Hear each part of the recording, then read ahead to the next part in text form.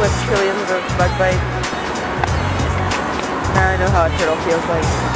And I'm for Tokyo, but I'm not going to Tokyo. I'm going to stop midway at Shizuoka.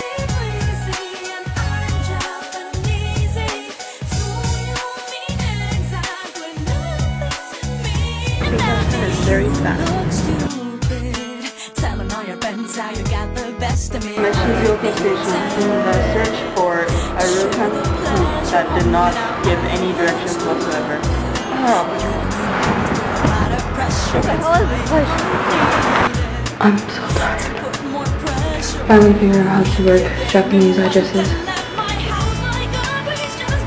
If I had known it was this nice, I would have stayed for another day. okay. The hike was only six minutes long.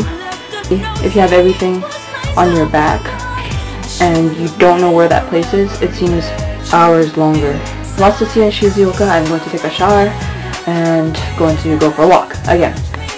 Shizuoka Station, I thought would be a smaller town, is actually it actually seems bigger and more modern than Kyoto.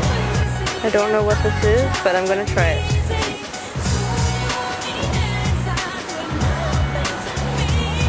I was innocently shopping up and down the streets of Shizuoka. And um, why would you do that to someone?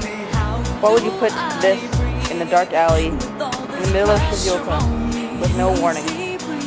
Some people have I'm sitting right behind the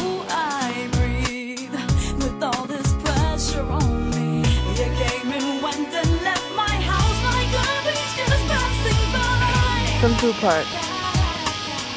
It's right in the middle of the city yet you can't hear any of the city. Only hear crickets and birds swing flat. I'm going back to Tokyo tomorrow.